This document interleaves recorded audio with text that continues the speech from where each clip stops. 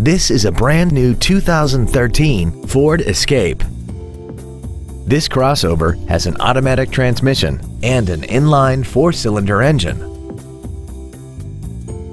Its top features include an intercooled turbocharger, traction control and stability control systems, XM satellite radio, aluminum wheels, and a tire pressure monitoring system.